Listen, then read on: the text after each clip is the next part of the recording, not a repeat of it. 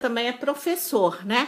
É Sim. professor de história? De história. De história. formado em História. É. Me formei aqui em Uberaba, na antiga eh, Faculdade de Ciências e Letras Santo Tomás de Aquino, Ah, sim. das Freiras Dominicanas.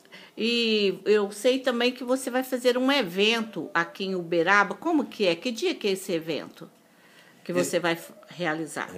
Então, esse evento eh, faz parte de um programa da Secretaria de Cultura de- da Prefeitura Municipal de Uberaba, através da Fundação Cultural.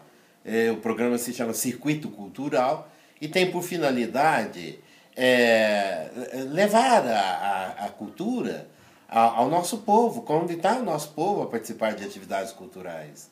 Eu me, me inscre- inscrevi eh, com um programa de declamação né, de algumas poesias clássicas, que foi aprovado eh, pela eh, comissão eh, responsável pelo evento. Fiquei muito feliz, muito satisfeito. A apresentação será no próximo dia 4 de julho, a partir das 17h30, na Praça Rui Barbosa, com duração de aproximadamente 45 minutos.